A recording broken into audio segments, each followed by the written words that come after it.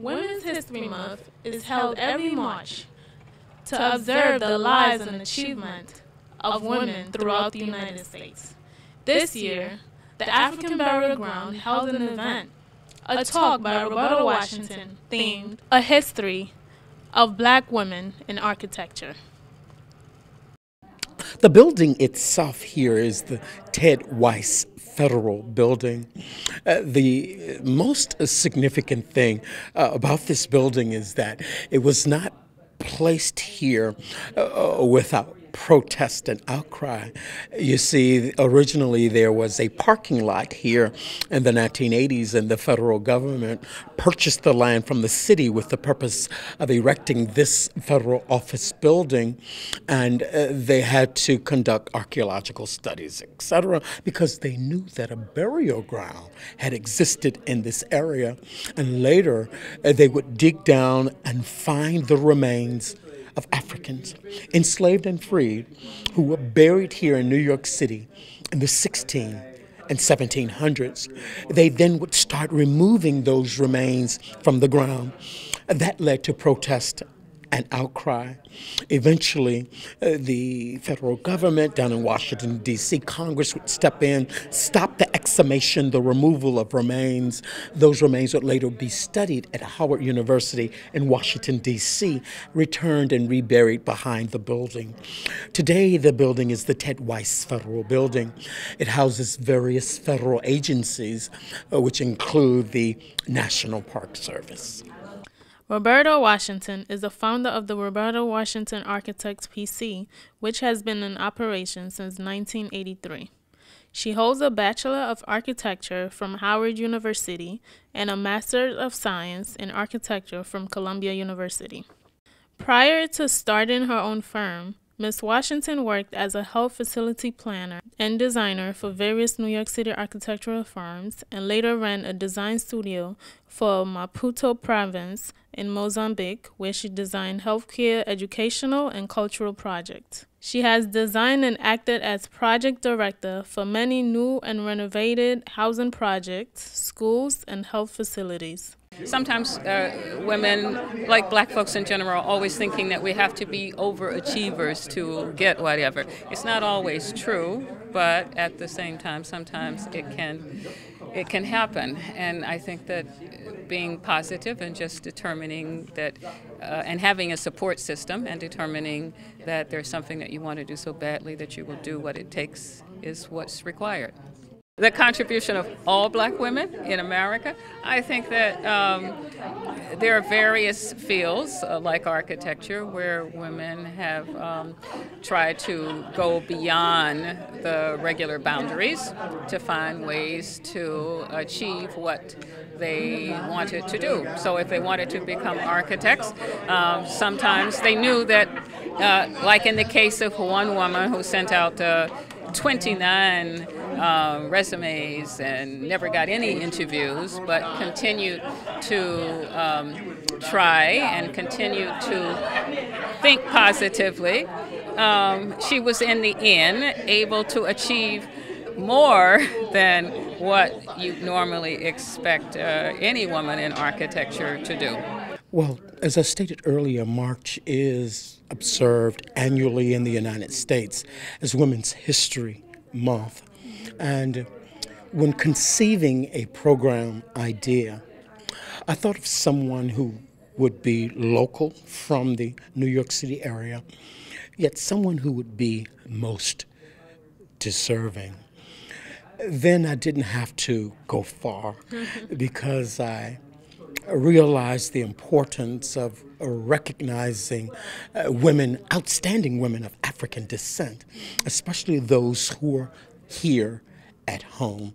And Roberta Washington did a wonderful job in designing the African Burial Ground National Monument Visitor Center. So I thought it only appropriate to pay tribute to her by asking her to come back home and give a wonderful and powerful lecture about women in architecture. 2% of the black architects are women, and 2% of all of the architects in the country are black, right?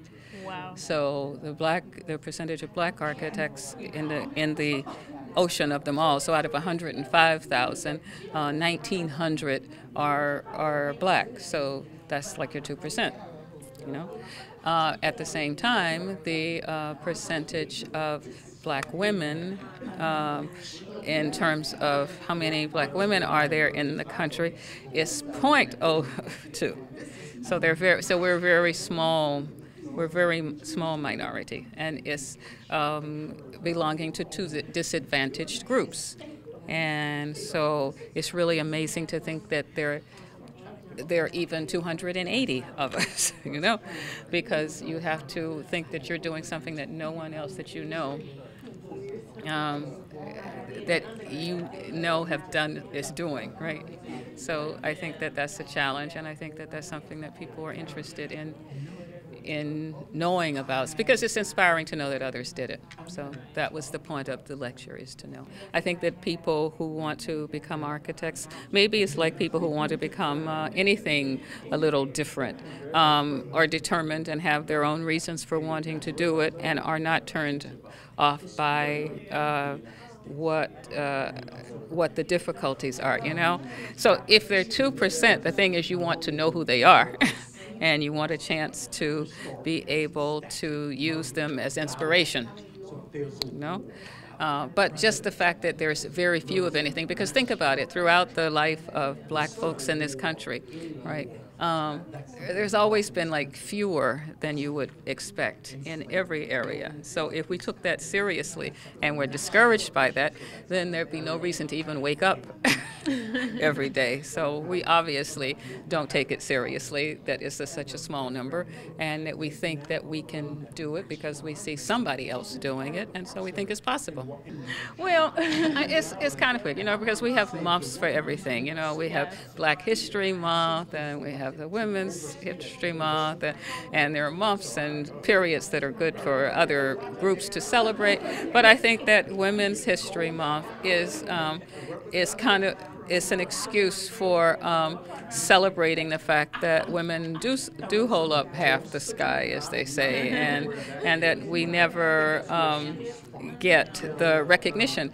Now, the sad part is that okay, so that you are recognized during Women's Month, but the very sad part is that that's maybe the only time you are recognized, and so we need to make sure that uh, what we're doing in in Black History Month is. Um, and, and in Women's History Month are um, things that uh, can at least carry us for a year because that's the next time we'll be talking about how wonderful or how great some black folks or some women were. So I think we need more of it.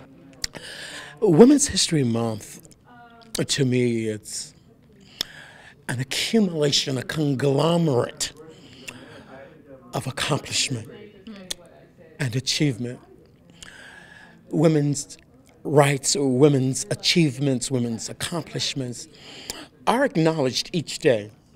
But to have a month set aside here in this country where everyone can focus upon the achievements of women is outstanding. I applaud the various uh, activities and special programs uh, which have uh, been created for this month, not only throughout the National Park Service, but throughout the city, the state, and all around the world. And I look forward to another Women's History Month celebration. The contribution of black women is widely neglected, but with events like this, the public is widely informed on the achievement that black women have made culturally in the United States and throughout the world. Fatima Sesay, Sahara Reporters.